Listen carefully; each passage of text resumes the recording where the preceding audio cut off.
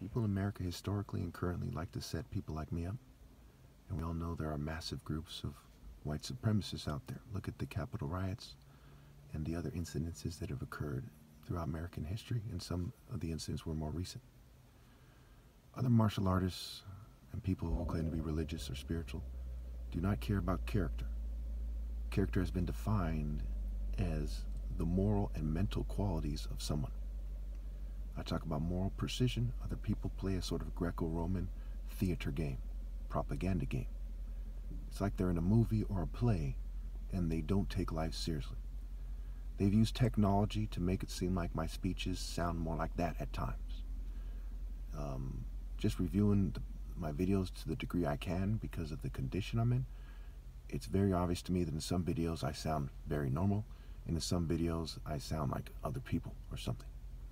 And I sound strange. It's not a coincidence that I have over 22 witnesses to them persecuting me. It is completely psychotic for mental health, law enforcement, or anyone else to pretend that those 22 witnesses mean nothing and that there's something wrong with me. That is retarded. This is the sort of immaturity that I've dealt with with law enforcement and mental health my whole life. And it's not just in San Jose or Morgan Hill Okay, obviously every law enforcement agency in this country is corrupt. I do not think that it is logical to assume otherwise. They uphold the corrupt laws of a corrupt nation. They belong to political parties. They have overlapping membership and family members and hate groups. Okay, they are notorious for their pathetic investigations. So some sheriff, I believe, called Villanueva or something, um, who uh, is in the news for doing some, you know, cover some some uh, sheriff department cover up. It's not just Southern California; it is every law enforcement agency in America. And to care about people and to care about your country, if that's what people are concerned with, one must highlight what is wrong. And it is extremely wrong.